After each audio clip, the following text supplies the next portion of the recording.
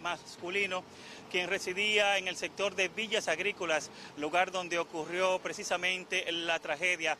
Esto de acuerdo a informaciones de familiares que acudieron al lugar para confirmar que el cadáver encontrado en la zona, pues se trataba efectivamente de su pariente. La víctima fue identificada como Manuel Esteban Rosario. Fue que nos despedimos con un beso, hicimos una oración y de ahí para allá no he podido ya tener contacto con él por la explosión. Ustedes ya han visto lo que ha sucedido. Rosario llevaba tres meses como contratista en la empresa, en el área de furgones. ¿Tenía hijos? Sí, él me crió el hijo mío de, de 6 años y el niño tiene 17 años, se llama José Daniel.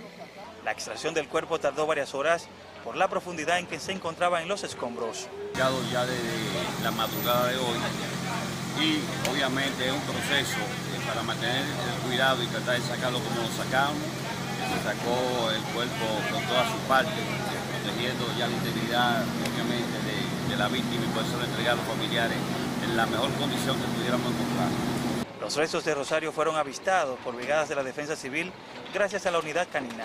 Al lugar se presentaron familiares de desaparecidos por la lentitud del INACIP para identificar los cuerpos calcinados. Durante el proceso de recuperación del cuerpo de la víctima de 49 años, la zona fue restringida y solo se permitía el paso a familiares de desaparecidos y autoridades. Hoy venimos aquí a ver cuál respuesta me tienen, porque yo quiero encontrar que sea un pelo de ella.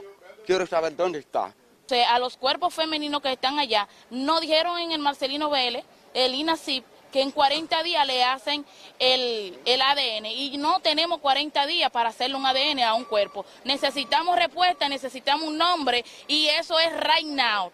En la escena la empresa se opone a que sea sacado evidencia alguna. Eh, para nosotros es, eh, esta es una pieza clave de la recomendación de nuestro seguro o del seguro y de los abogados de que esto es parte del proceso de investigación. Por ende, eh, es algo que nosotros entendemos clave.